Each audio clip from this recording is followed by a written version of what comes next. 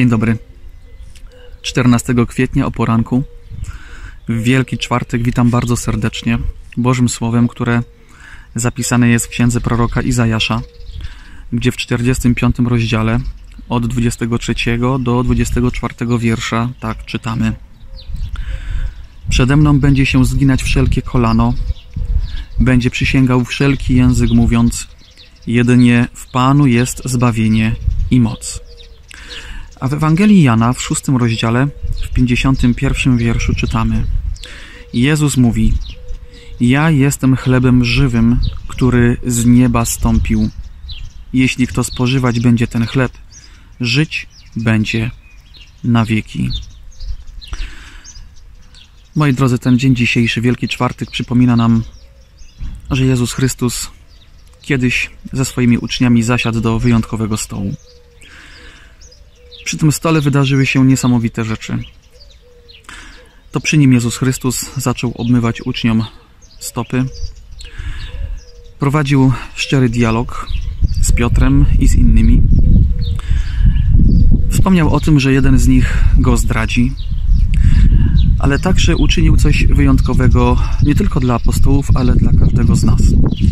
Ustanowił wspaniały sakrament sakrament stołu pańskiego.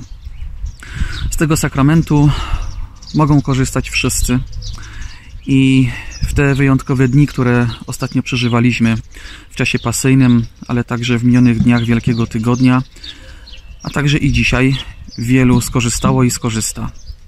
Przystąpi do stołu pańskiego. W szczerej modlitwie zasiądzie do stołu, do którego Bóg zaprasza i wyzna wszystkie grzechy, ułomności, słabości, te sprawy, które nas od Niego, od Boga oddalają.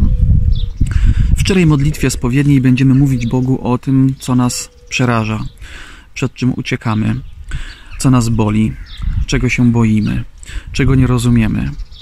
W tej modlitwie będziemy także mówić Bogu o tym, by nam pomógł, by błogosławił, by otoczył miłością i dobrocią nie tylko nas i naszych najbliższych, ale wszystkich tych, którzy tego potrzebują. Bo wokół nas tak wiele osób jest, którzy, które czują się zagubione, porzucone, samotne, które potrzebują pomocy, wsparcia, dobrego słowa, przytulenia i zrozumienia. I to wszystko Bóg Wszechmogący daje nam, zapraszając nas do swojego stołu. Przy tym stole możemy szczerze porozmawiać, możemy z serca wypowiedzieć te sprawy, które nas niepokoją, które nas bolą, ale także możemy Bogu opowiedzieć o naszych radościach, o naszych nadziejach, o naszych planach i o naszych marzeniach. Ten dzień dzisiejszy właśnie pokazuje nam prawdziwe oblicze Boga. Boga, który zaprasza, Boga, który kocha, Boga, który wybacza, Boga, który pomaga, który wspiera i który przede wszystkim rozumie.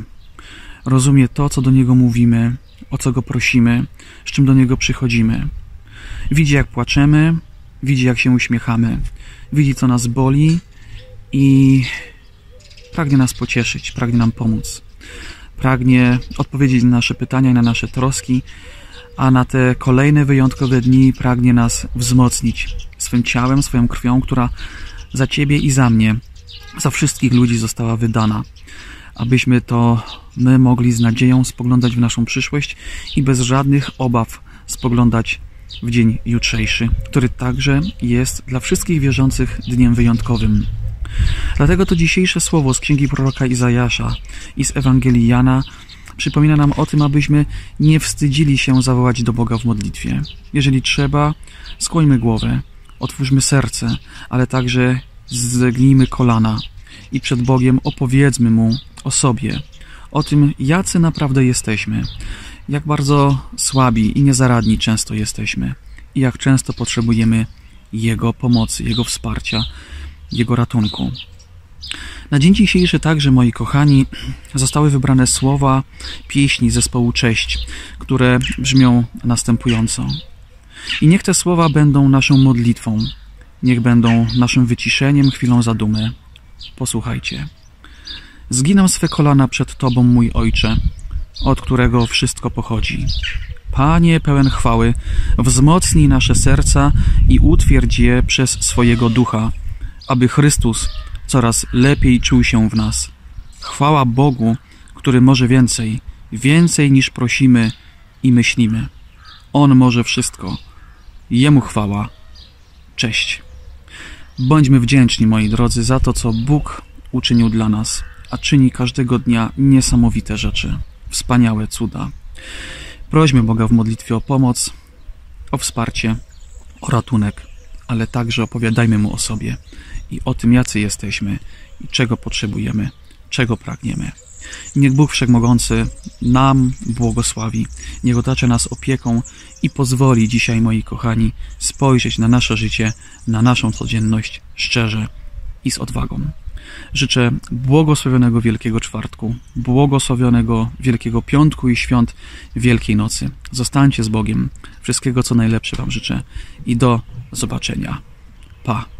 Pozdrawiam serdecznie z Kluczborka. Amen.